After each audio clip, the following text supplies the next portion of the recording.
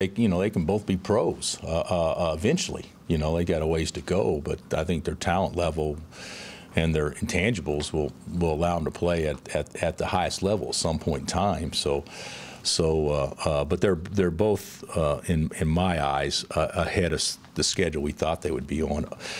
We knew that Devon would be our starting point guard this year. We felt that all along, but but but still, he's probably exceeded what we thought.